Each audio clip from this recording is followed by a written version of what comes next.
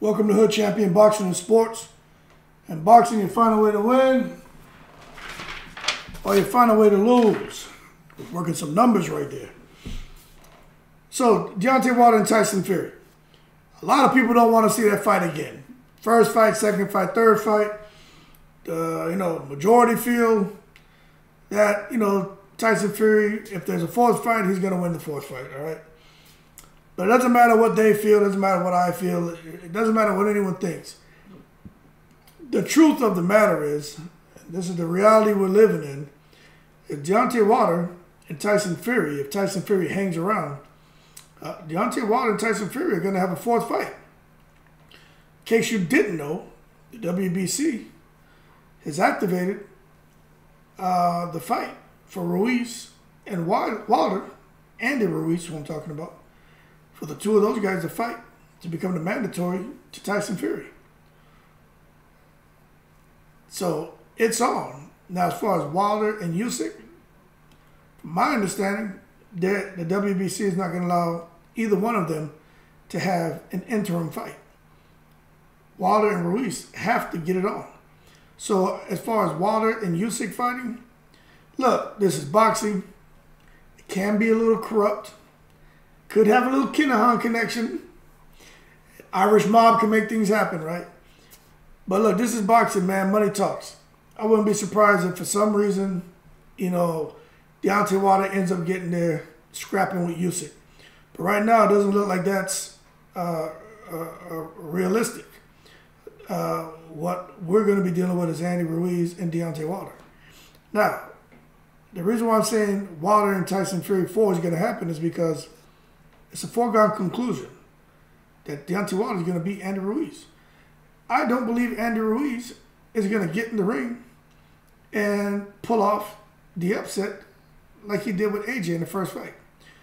Deontay Wilder is way too smart for that. Malik Scott is way too smart for that.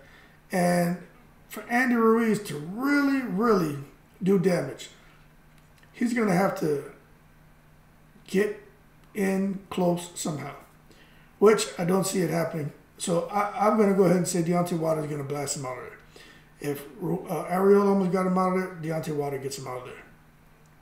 But aside from that, Fury and Wilder four. This is this is what makes you know boxing so special, right? You could have two guys fight ten times, and nine times one guy will win, and the tenth time the other guy can win. This is boxing. These are heavyweights. It only takes one shot. Okay, so because of Deontay Wilder's power, he and they feel that with the changes he's making, and the trainer De- uh, Malik Scott Remember, they only had one fight together with uh, Tyson Fury in the third fight. But especially now, he's back, he's active, he's not coming off a layoff, no injuries. Um, his mind is clear. They feel that Deontay Wilder would clip would clip Tyson Fury in a fourth fight. To me, I don't know, but I I watch it. It's like when I hear people saying, like at Mayweather and Pacquiao, there's a chance that two of those guys are going to mix it up in an exhibition bout. And people are like, oh, I won't watch it. I didn't watch the first fight. Uh, people tried to sue Showtime because the fight was so boring and they robbed people as far as the price point, blah, blah, blah. Listen, listen. You can do what you want. I love boxing. So if Pacquiao and Mayweather fight four times, I'm going to watch it all four times. If Deontay Wilder and Tyson Fury are going to fight this fourth time, doesn't matter who I think's going to win, I'm going to watch it because anything can happen in boxing, and especially when you're dealing with guys like Fury and Wilder, especially Wilder. He he could get Fury out of there. Will he do it? I don't know. That's why I'm going to watch it. So any of the, the naysayers out there who are saying this is a senseless fight, why do it? Why put Wilder back in there? He's won, like some people say, one round out of, you know, what, 36? So, you know, I, I have to say, I really wish there was a. I would really like to see Wilder fight Usyk. I really would, man. But it's just it's a little bit frustrating because look, look at the schedule, right? Wilder and Ruiz, they're not fighting this year. So they're going to sort all that out. It'll probably be, hell, it could be October, November, December. Now, probably be January time frame. Okay. You uh, Fury's fighting in December. So look at how close they're fighting. Then Fury and Usyk are supposed to get it on next year. If Wilder beats, well, when he beats Ruiz, what's Wilder supposed to do?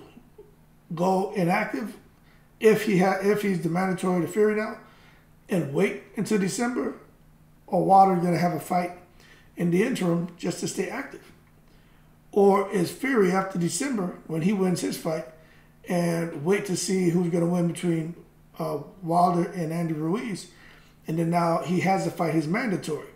See, this is where it gets tricky, because if Fury has to fight his mandatory, and he and, and he doesn't want to pay step aside money so he can go fight Usyk, Fury's back in the same position he was in for an undisputed distinction against AJ.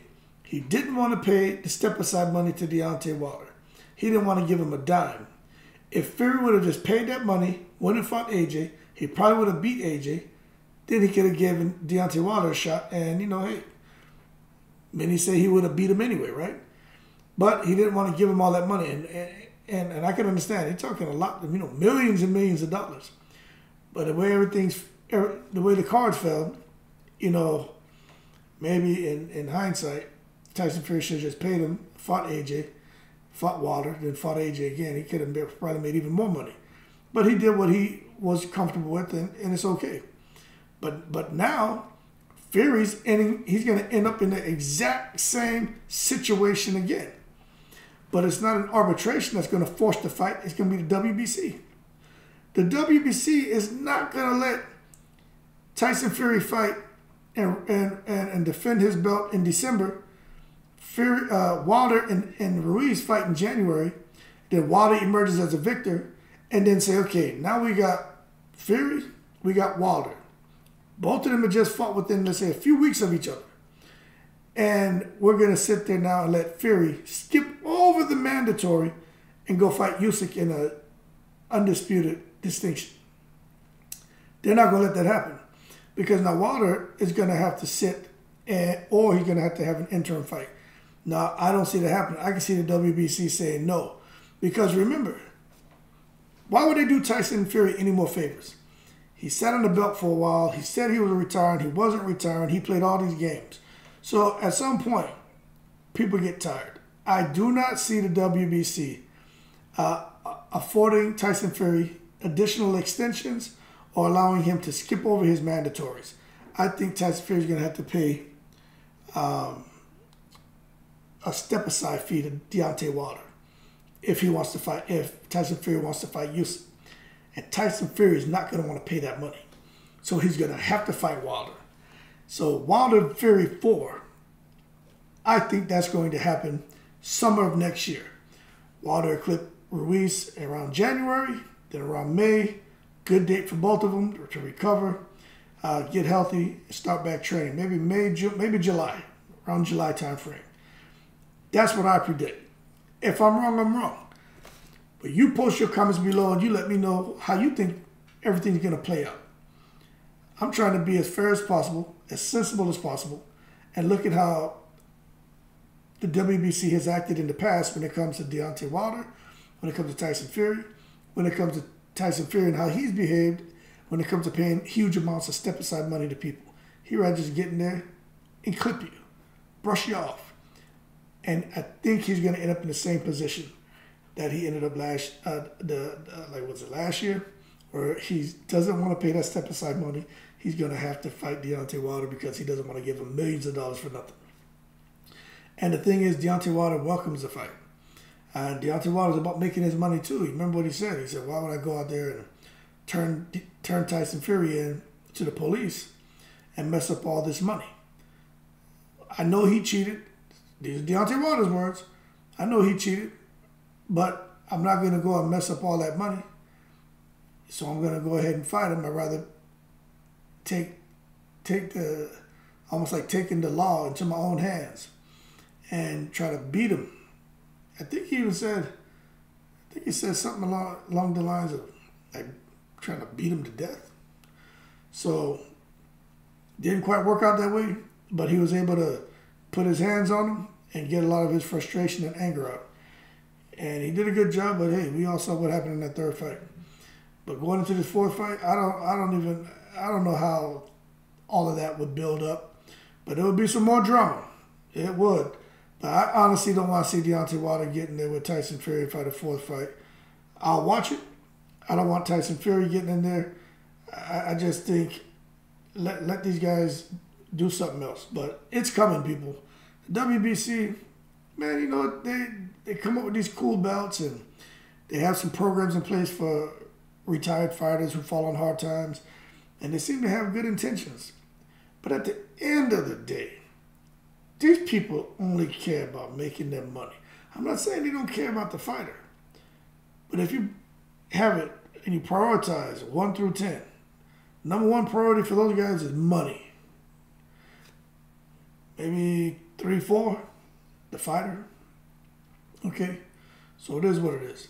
But that being said, that's my two cents on Deontay Wilder, Tyson Fury, Andy Ruiz. It, it doesn't even make sense for me to break down Ruiz and Wilder and and, and show the things that Ruiz do, does good and things Wilder does good and how Ruiz could win the fight and how Wilder could win the fight and do that talking specifically textbook stuff, boxing 101 stuff, and articulate it with all the, bo- the boxing knowledge, the boxing jargon, the boxing language to where you guys can understand. Because I think most of you are very familiar with Andy Ruiz. You know what he does good. Deontay Wilder, we know what he does good. This is just a matter of Deontay Wilder is going to turn stupid overnight and fight small and let Ruiz get close and get off those shots. Or if Wilder is going to stay intelligent the way he is, keep that fight at a distance and do it to De- uh, do to Andy Ruiz, the shorter guy with shorter arms, do to him what he's always done to guys who aren't the same or even close to his stature. Brush him off, knock him out. Now, for those of you saying Andy Ruiz not going to go down easy, Andy Ruiz is going to go down. He's going to go down faster than a plate of Alabama barbecue. So believe that. But that being said, shout out to everybody from all seven continents. Shout out to all the veterans. I appreciate the support. Y'all keep cool. Tyson Fury, Deontay Wilder 4. Be here next year around July. I really believe that. If, if I'm wrong, I'm wrong. But that's my prediction. Y'all keep cool. And as always, I'm in the breeze.